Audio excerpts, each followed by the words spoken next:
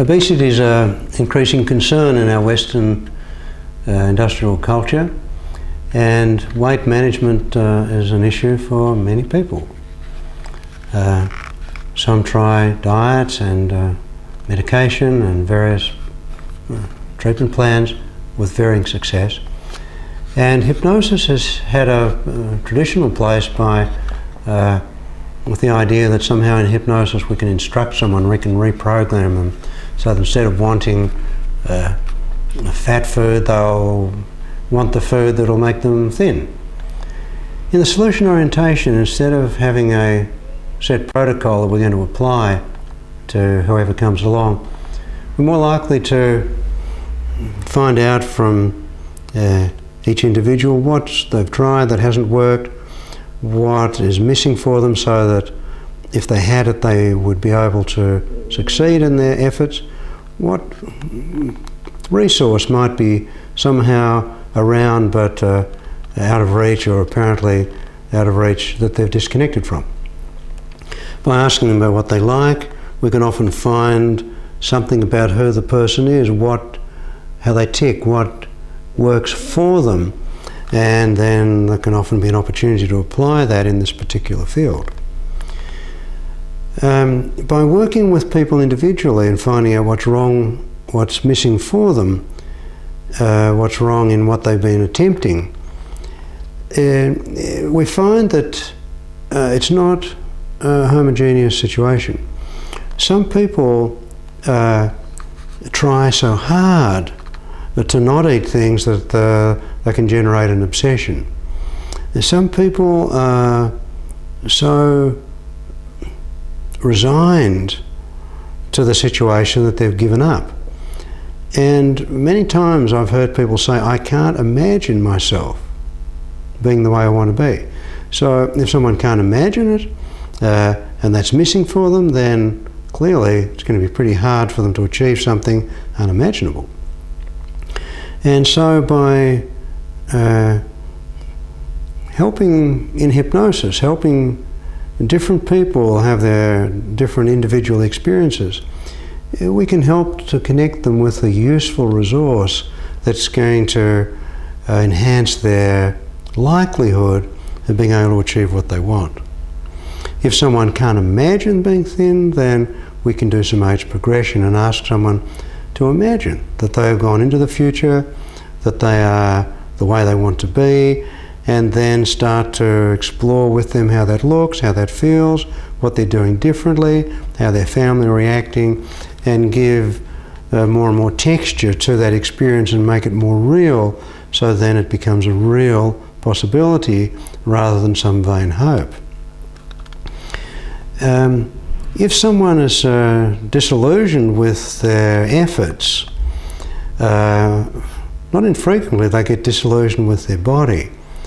And people will say, I hate my body, uh, it's uh, uncooperative, it won't work with me, I've got to use willpower to control it. And in all of that well intended activity, making an enemy out of the body is hardly likely to evoke a sense of an experience of cooperation from the body.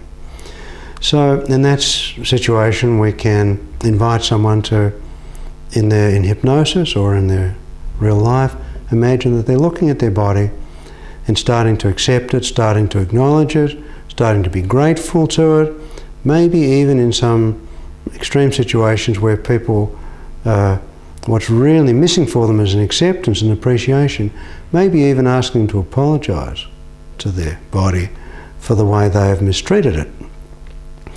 And we can either offer this as direct ideas uh, that you could do this, or we can offer the idea in the form of stories about other people who uh, have uh, attempted such things and had a varying uh, variation in their experience so that it becomes possible.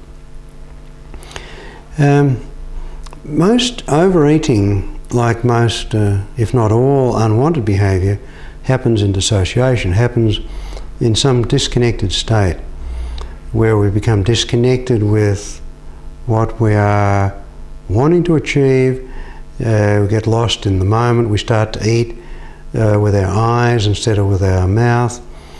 And uh, uh, if someone is dissociated, disconnected in their eating, and then it becomes apparent that what's missing then is a greater sense of connection, we can invite them to be more connected in the hypnotic experience with their body, to really notice their feet, really notice the air as they breathe, and so on.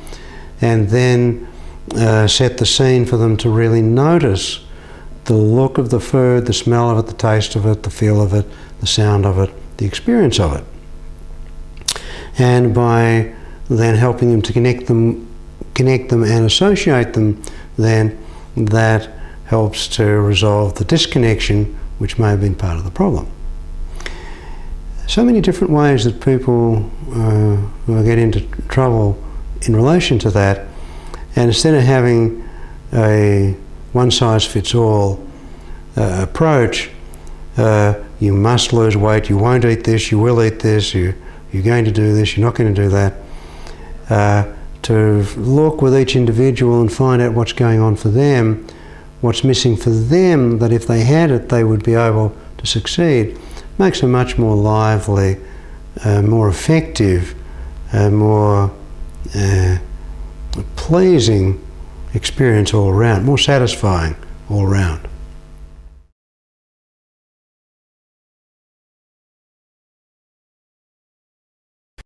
Thanks for coming along and being willing to be part of this, Sue. Appreciate that. I'm looking forward to it. Oh, good, good. And is it okay to videotape this? I'm just asking Yes, permission that's. Yes. officially to use for future teaching Yes. purposes. Quite all right. Well, thanks for that too. Now, um, can you tell us what sort of things you do that are enjoyable and pleasing and uh, fun? Enjoyable. Yeah. What sort of things are you? Um, I enjoy going to the gym. I enjoy gardening. Um, I enjoy painting, although I haven't done much of it lately.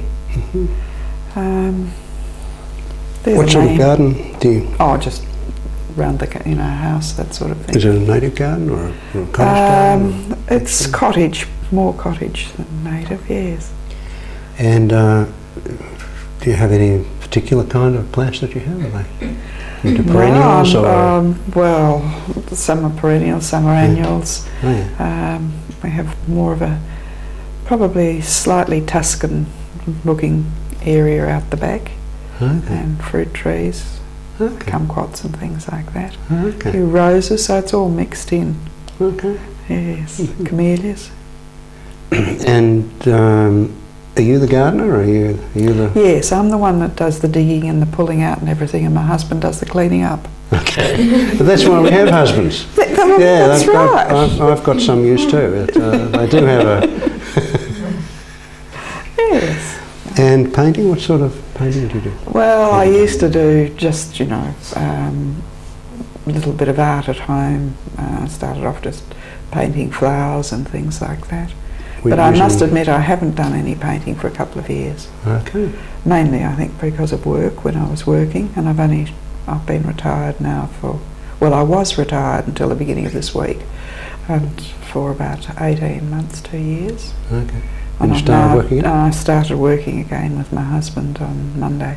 Okay. Mm. Okay. Mm. Two days a week. All right. And the painting that you did, was that oil or watercolour or Uh, watercolours. watercolour? yes. Okay. And mostly flowers, did you say? Yeah, mostly flowers, some animals, things like that. Yeah.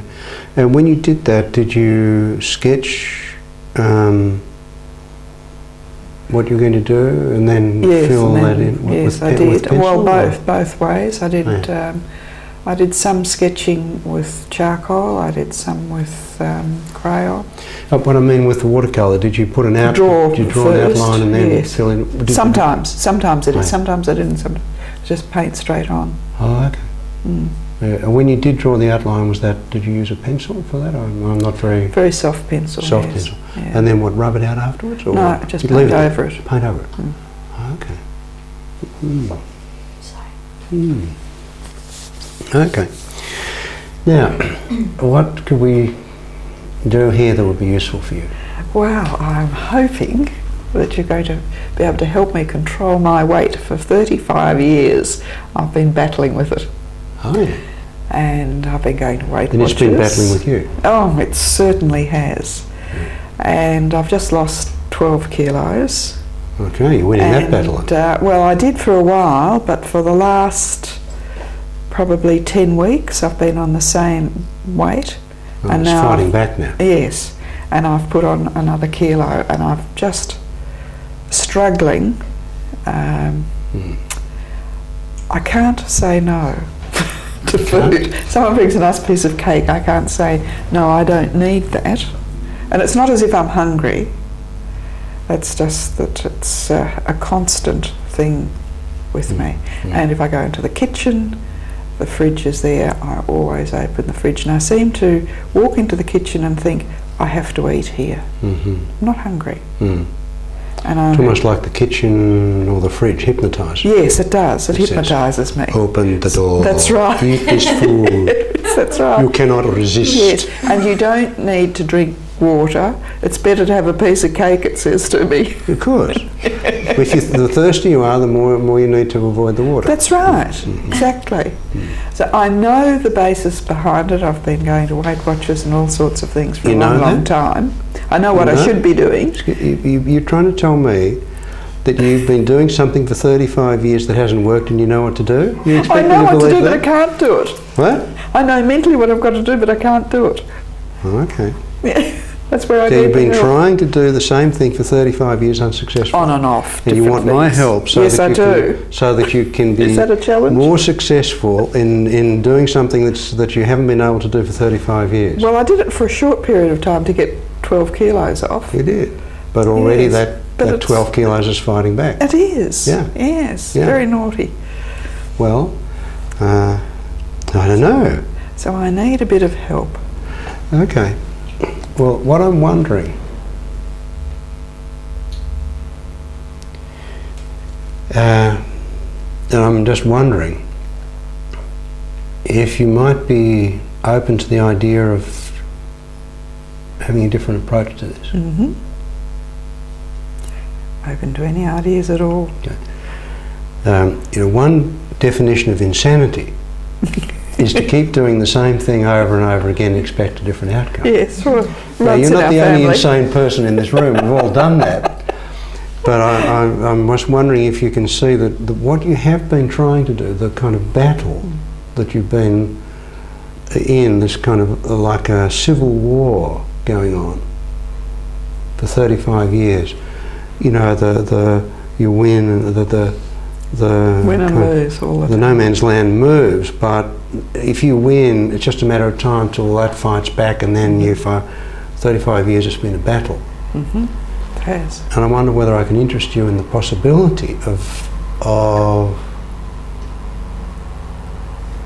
having a different approach. Now, I'm not sure what that will be, but um, I have to tell you, I'm very reluctant to become the hired guns for this battle. I think I'll get. I think I'm likely to get my arms and legs shot off. Oh, I don't Do you know? think so. No, well, No. it's been a battleground, It has. and I think if I get into the battleground, I don't know that that's going to help uh, in any permanent way. It might, but I'm I'm more interested in finding a different way of tackling this. hmm And as such, it might seem a little strange because I might offer some ideas that are not. Uh,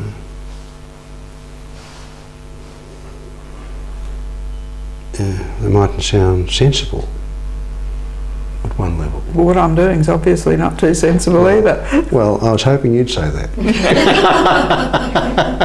and I want to emphasise that what you've been doing is common sense. It's what what we all do, Mm. just that it hasn't worked. Mm, That's right.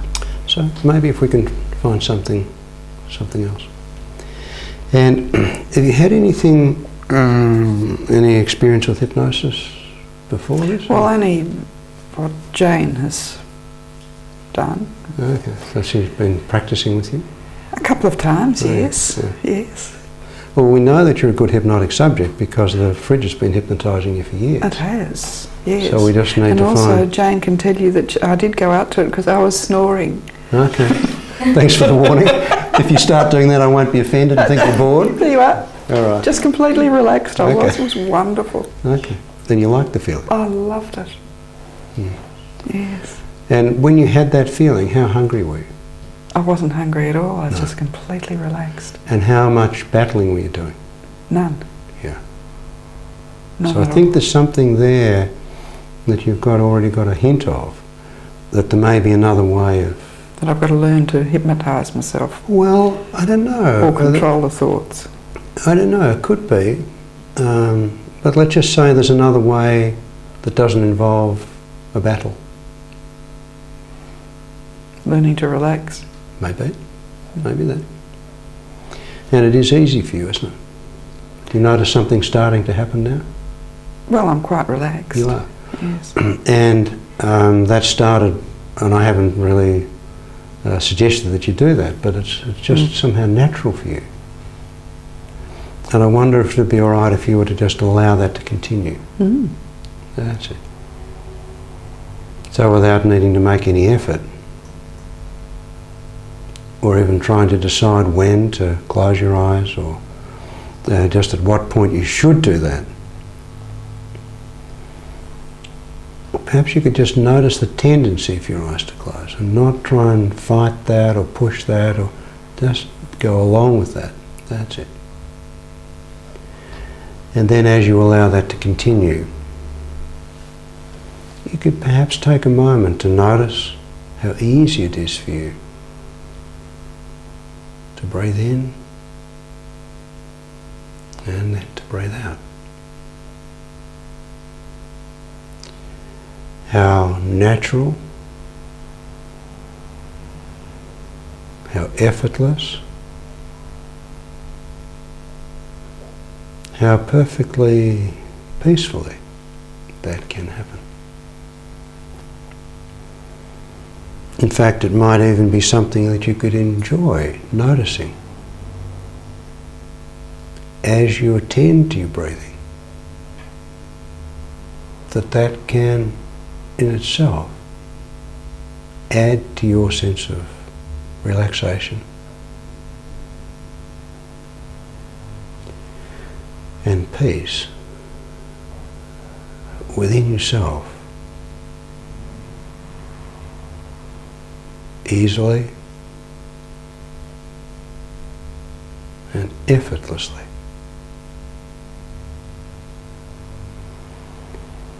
And as you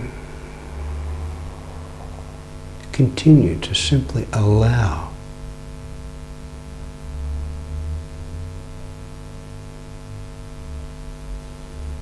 I could remind you that in your gardening,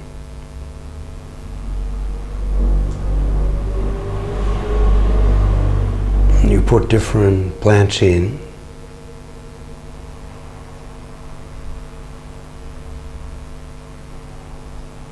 And the plants that you plant grow.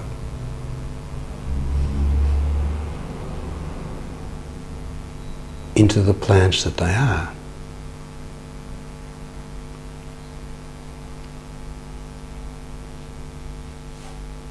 And according to the garden that you want. So you plant the plants that will grow into that garden and become that garden.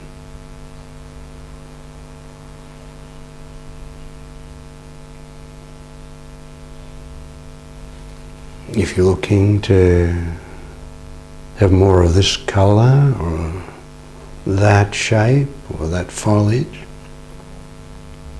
do you want some height Do you want some cover, some ground cover? When you found your own way of mixing those different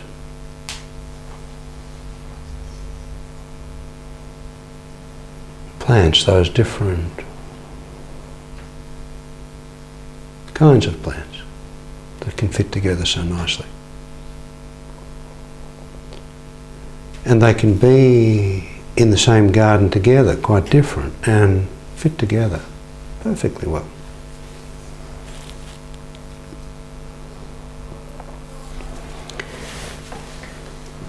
And I wonder if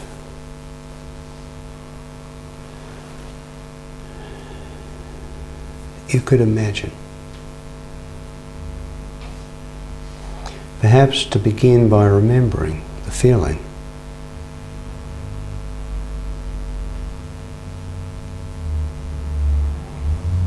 When you were painting,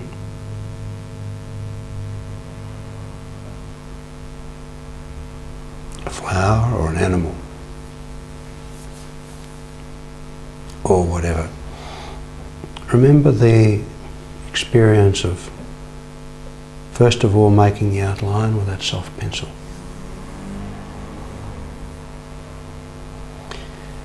And then filling in those spaces and painting over the line.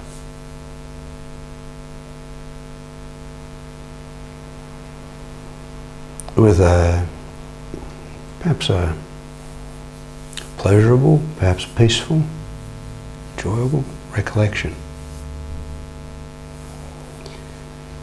And I can say some things that'll be obvious, but that according to the outline that you draw, so the painting takes shape. Does that make sense when I say that? That you draw a particular animal, it ends up looking like that animal, not like a flower. Hmm? Obviously. So I wonder if in your mind's eye you could pick up a soft pencil and draw an image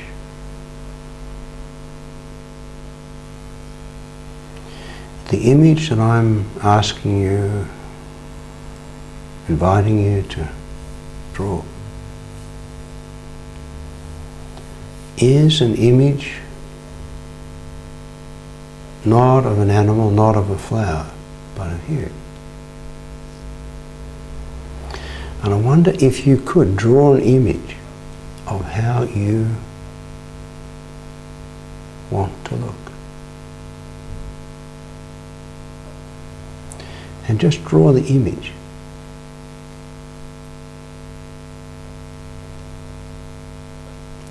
Uh, you might be naked, you might be wearing particular clothes.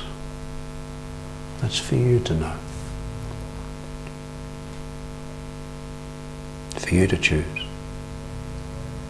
And you can be in any position, you can be sitting, standing, dancing, gardening, whatever. And you don't need to see it accurately in your mind to have the idea of that experience. As I speak about that and invite you to notice the experience as if you are drawing that outline, what happens to you, sir, as I, can you see that outline in your mind's eye? Hmm. And can you say in general, you don't have to, but I'm curious, how does that look? Does it look okay? Looks fine. Okay.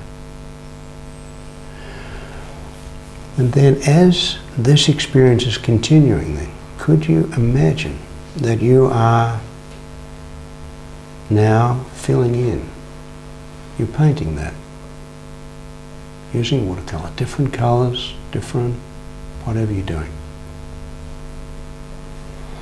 So that you start to fill in that's, those spaces.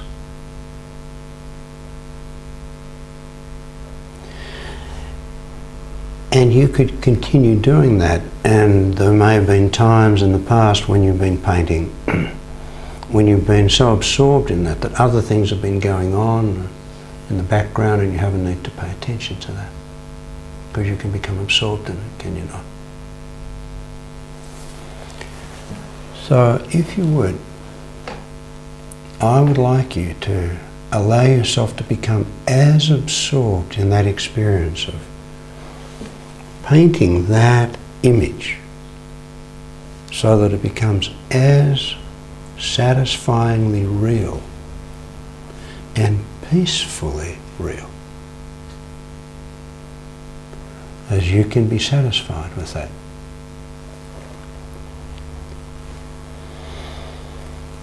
And I can speak to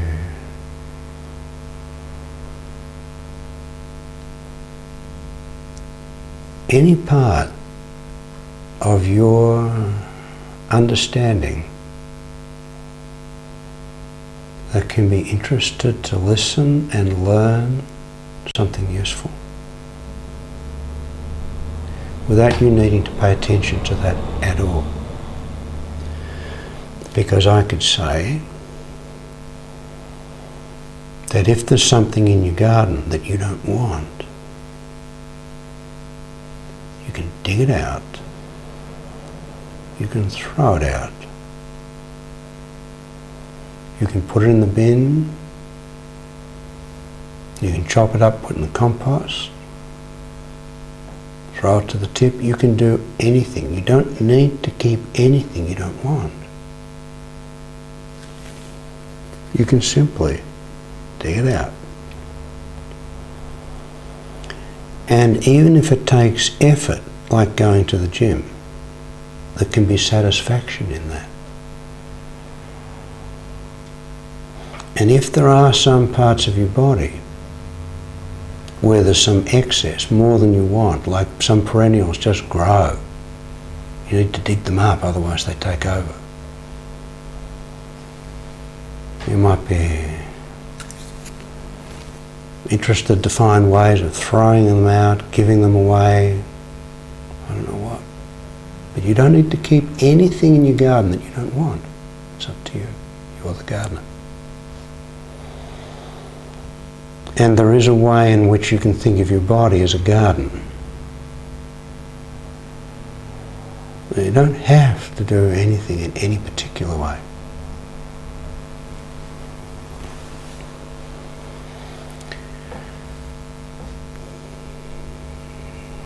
I learned from a doctor in America who told me that a woman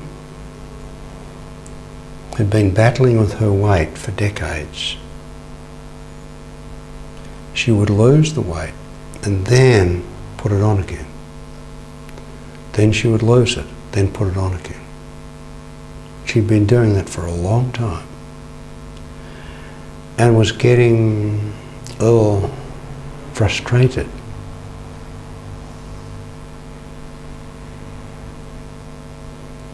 This woman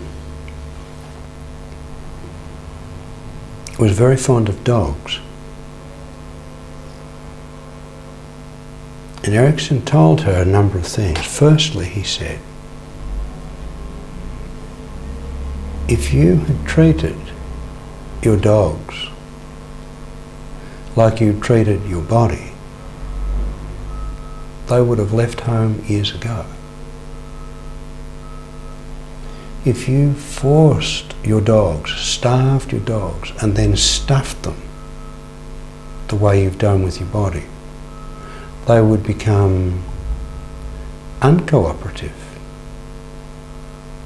They would become very aggressive and there would be a battle.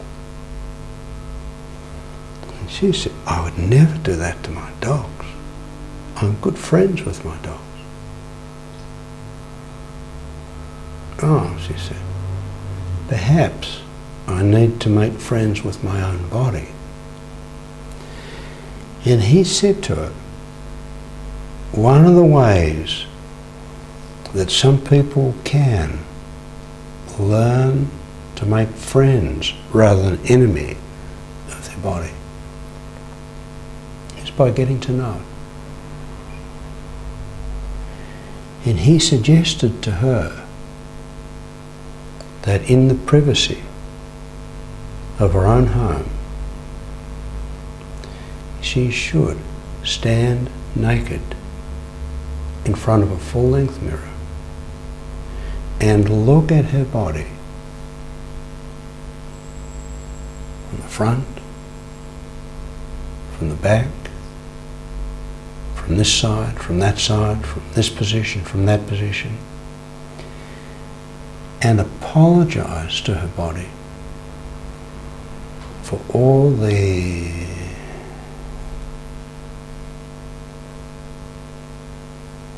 conflicts that she'd involved herself with, the body. To apologize.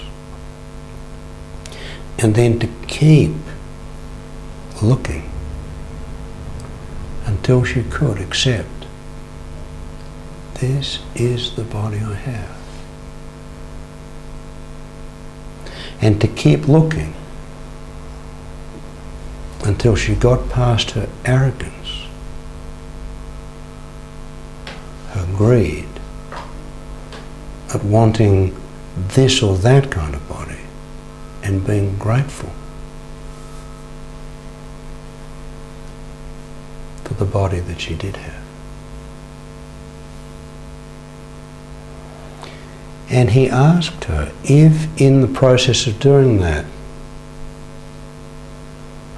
she might be able to find one or two ounces that she could comfortably let go of.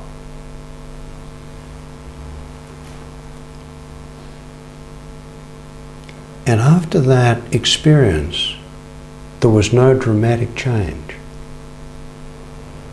in her eating. There was no dramatic change in her body. But she started to feel so much better within herself. And then gradually, bit by bit, most of that weight just seemed to fall away.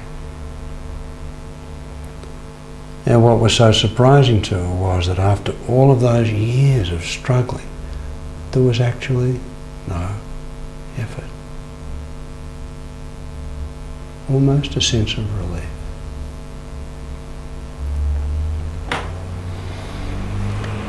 And I don't know how you could do this, but somehow, because you have been able to be hypnotized by the fridge, by the cake, by the ideas of the food, you can now be hypnotized by that image that you have created of your body the way you want it to be. And it can be as if that image can hypnotize you, can take charge of your experience. And even when you might have thought that you might be hungry, that image can hypnotize you. And you can discover. I thought I felt like cake, but actually I feel like a glass of or it may not be water. It may be just the pleasure of breathing or the pleasure of looking forward.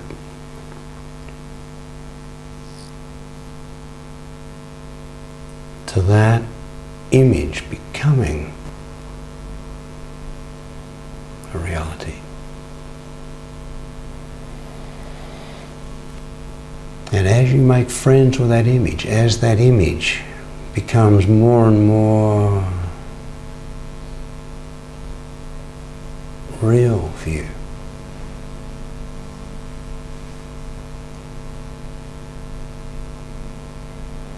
It can be so natural, so effortless.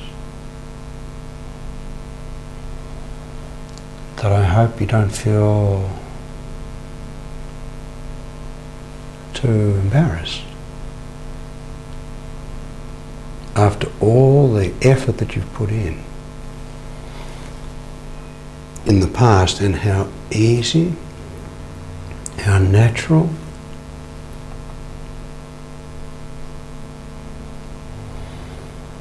how inevitable this can be. And that image that you are creating how's it going? You've started to fill in some of the. How's it looking? It's looking better. Looking better. Yeah. I hope it's not perfect. Because as human beings,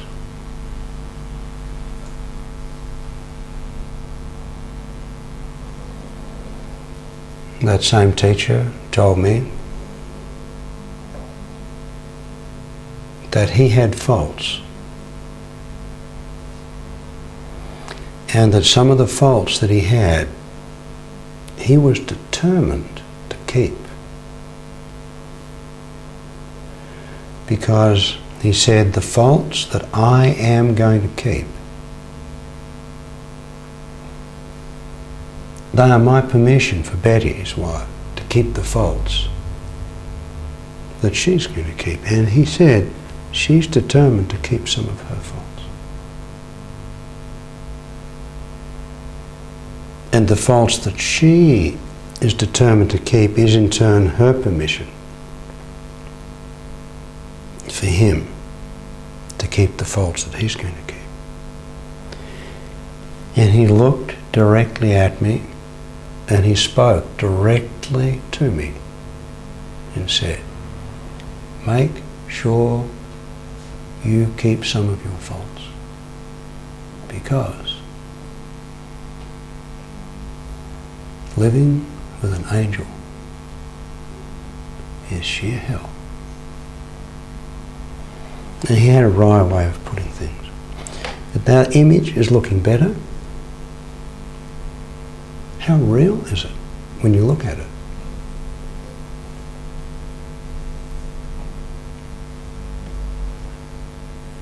That's something to achieve. Yes. And as you look at it, just as when you do the outline and you haven't filled in with the paint, it gives an outline of how it's going to be. So this image can be a direction of something that you can achieve. But you thought you had to battle and fight. When you paint, how much battling and fighting do you do? None. None. So my invitation is for you to allow that image to be there as something to achieve and as a guide, as a, just as the soft pencil outline is a guide to your painting. So that image that you have, and it is you, can be a guide to your eating. And I would hope that what I'm saying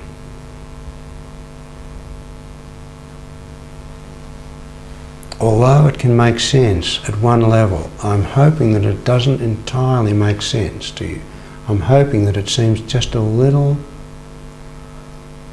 strange, perhaps obvious.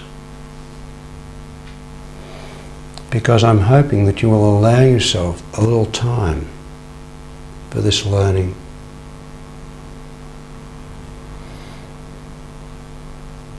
To settle, just as it takes time for watercolour to dry.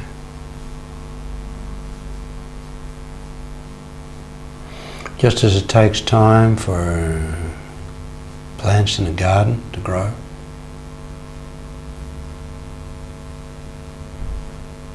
Just as it takes time for a rose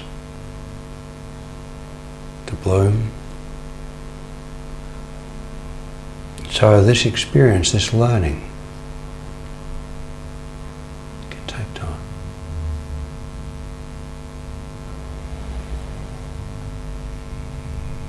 And it might be really nice if you could. Just let yourself sit with this. It's like you plant something and you let it settle in. You water it in.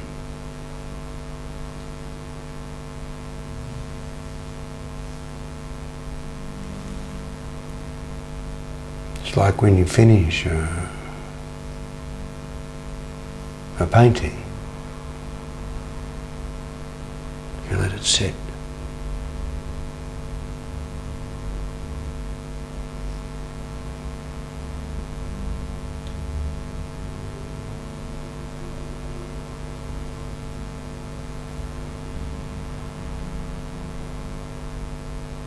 Because I am just a little worried.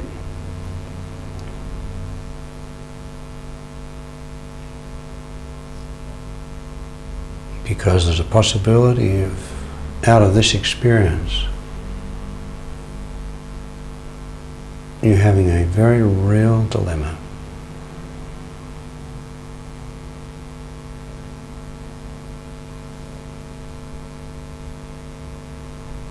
After this experience, it might be very, very difficult for you.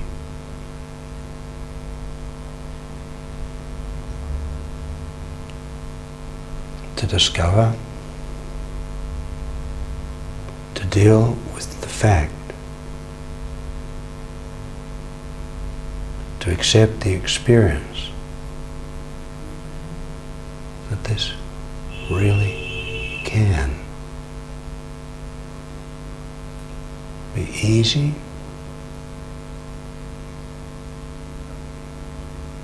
Effortless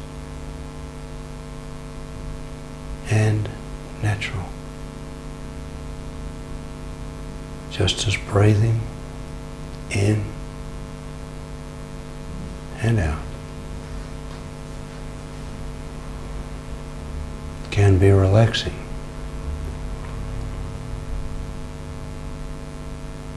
Easy and natural.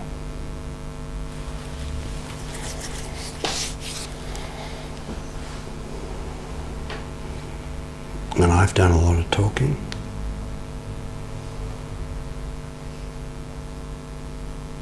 But you've done a lot of painting.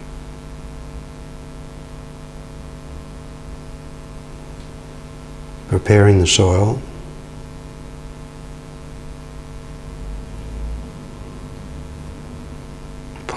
and then sit back and watch.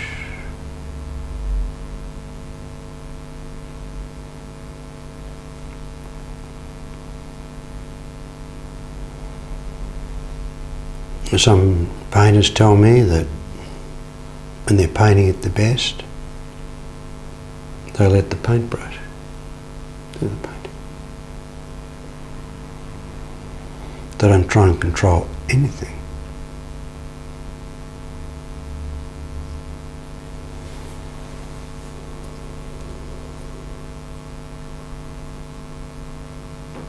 I really can't know how you can allow this learning, because it's a learning. I'm not trying to restrict you or force anything.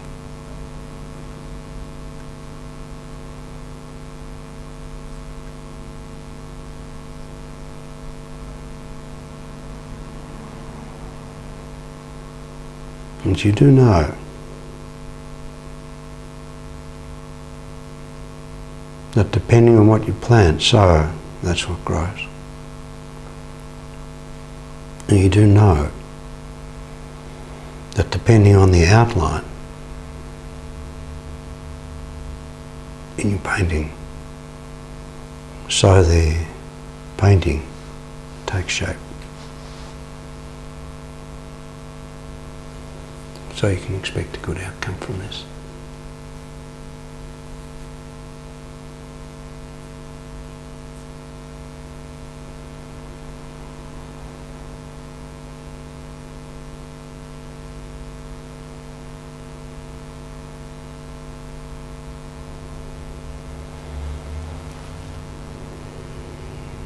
And I don't think there needs to be any struggle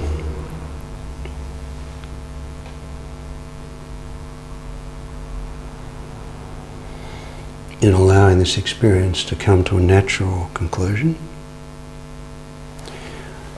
If you were to try and open your eyes, it might be a bit of a battle.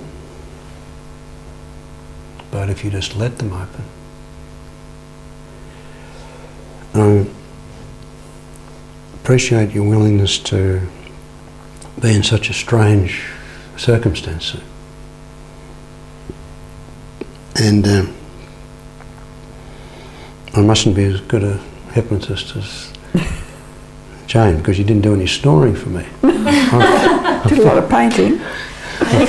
I'm feeling a little bit, uh, in, little bit uh, inadequate because you know obviously. But you enjoyed the painting, Yes, I enjoyed the painting. good, and it's good to do good painting and to see the way it can evolve and be satisfying. Do you have any questions that you uh, want to ask me? No, I don't think so. I think I've got to think about a few things. Yeah. Yes. And does it seem like that's something that that might be useful to you? Yes. I think the ability to be able to relax. Yes. Yeah. Yeah. And you can relax into that chair. You can relax into uh, some other chair Mm. when Jane's working with you. And you can relax into that image. When you relax into that chair, you don't need to do anything with the chair. You just, Just sit and relax. yeah, Mm. to let it happen. Go with it. go with it. And in a different chair, you might relax in a different position or a different way. And so with that image, you can just go with that too. Um, I'm wondering, is that a place that we might stop? Mm. All right. Uh, I'm, I'm, I'm not sure. I'm just asking. Yeah, is there something that's- more that you might No, want I me to think say? that's Or? no. I think that's fine. I think Okay. it's given me a lot to think about. Okay. Yes. Well, And thanks for being very, willing to come very relaxing. Relaxing? Yes. Oh, good. Oh. Wonderful feeling. And when, when, you, when you're relaxed like that and you're enjoying that feeling, a whole lot of things can just kind of settle into place. Mm. Well, it's certainly a different outlook on it. I think Being able that. to relax, yes. I think it. I Yes. think what you've been doing uh, is been too remarkably, intense about it. yeah, remarkably persistent. But it, it actually, you know, if something's not working, then it's That's right. eventually it's a matter of saying, oh, we need to find Change it. yeah, need change it. Mm.